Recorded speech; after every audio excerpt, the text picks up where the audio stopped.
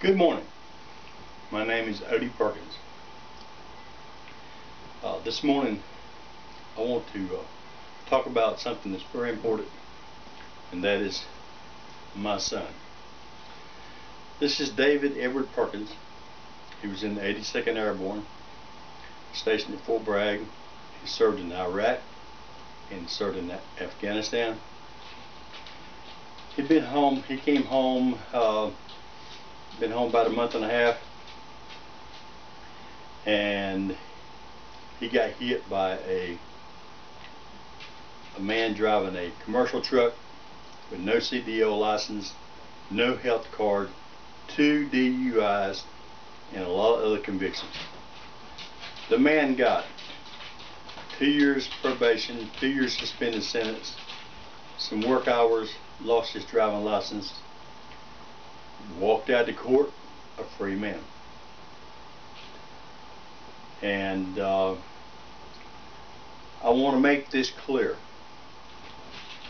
I have never, not one time, I had three opportunities that I could have done something to these two men, the owner of the company and the man that hit my son.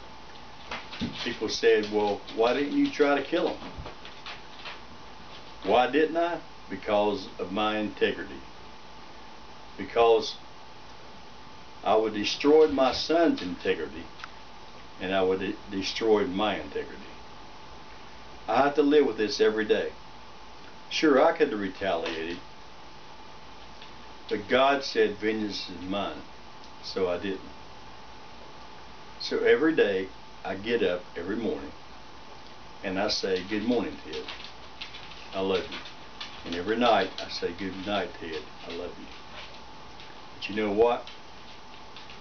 It won't bring my son back because this man was a drunk driver. Now, this is a gun. This is an MP9 Smith & Wesson. I want to explain something real quick about guns. I respect guns.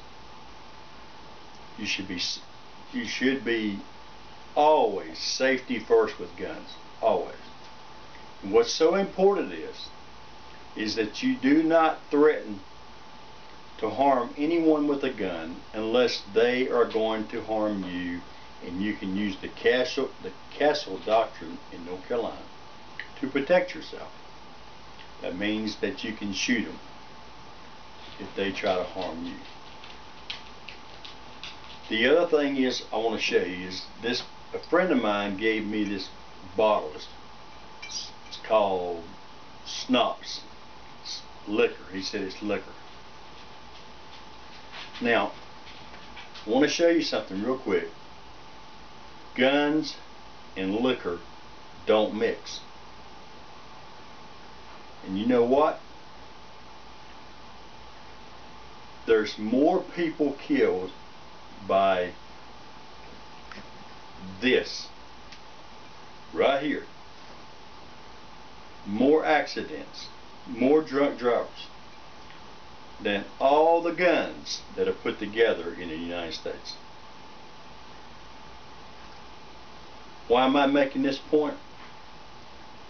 Is because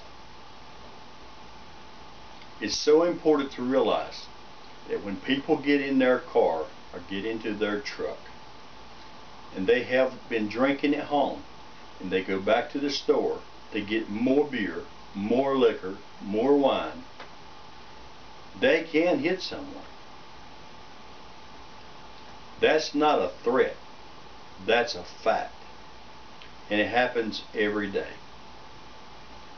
And the thing that we need to realize is that when that drunk hits your father, mother, son, daughter, grandfather, grandfather, grandmother, best friend, or loved one.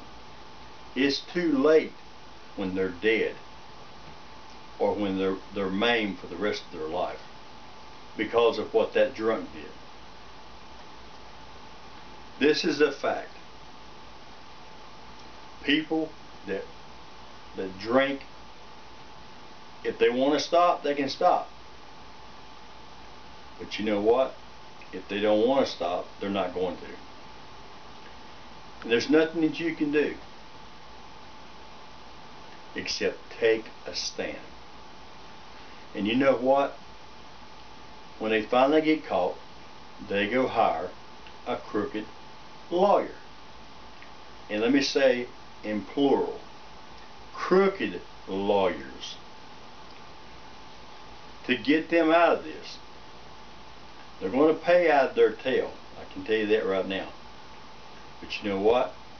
That's not going to stop them from going back out here again and doing the same thing or hurting someone. What I'm trying to say today is, is that I cannot bring my son back. All the money in the world, it don't matter about money. What it matters about is that I don't have a son anymore. So you know what?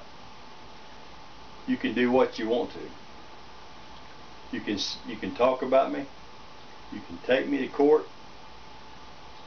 You can say I did this or I did that or whatever. But you know what?